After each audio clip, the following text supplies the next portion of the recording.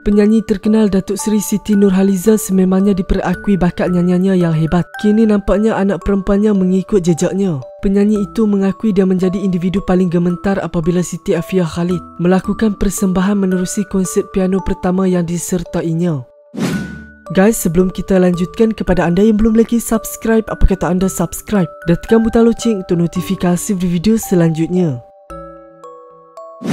Walaupun baru berusia 4 tahun, Afia menjadi peserta termuda dan sebagai ibu. Siti tidak dapat lari daripada mempunyai perasaan yang bercampur baur. Hari ini Afia menyertai konsert piano pertamanya. Ibu bila teacher Ili Piano Academy kata Afia ada konsert. Ibu yang nervous sebab Afia paling muda iaitu 4 tahun dan takut dia panik.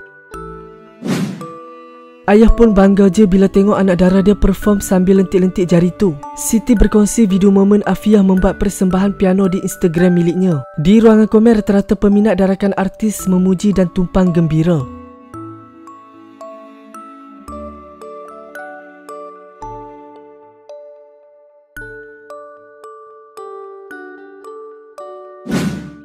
Bakat yang diasah dari kecil. Mungkin suatu hari nanti Afia akan jadi seperti ibunya. Melihat pencapaian anak-anak sudah semestinya membahagiakan ibu bapa.